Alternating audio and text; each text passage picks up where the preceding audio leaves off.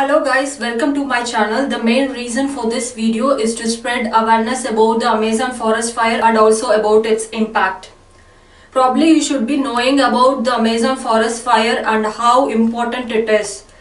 Amazon is contributing 20% of Earth's oxygen. There is no point in boasting about the military forces of developed nations if they can't control fire and also there is no point in exploring Mars or Moon if we can't protect our own planet.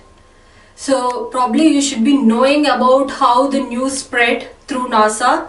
NASA's satellite was tried to take picture of Amazon but they couldn't capture the picture properly because of the smoke from Amazon.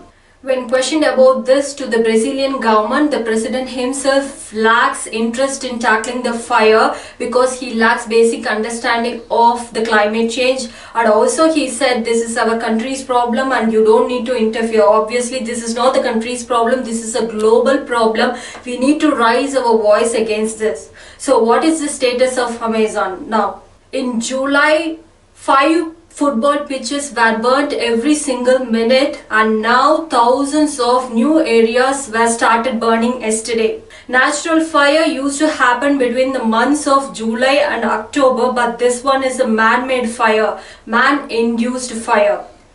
There is 1 to 3 million people are living in Amazon now and 1 million animals are dead already. So why do we need to care about this? 20% of Earth's oxygen is produced from Amazon. Without Amazon, we can't able to live. Whatever happens in Amazon doesn't stay with Amazon.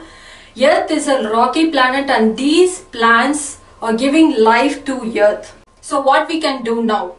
We can able to share and spread awareness among as many people as we can. We can able to share the message with friends and family members. Netizens already started boycotting the Brazilian products and you can also sign the petition in change.org to stop the forest fire. Please, please, please act right now to save our planet. Thank you.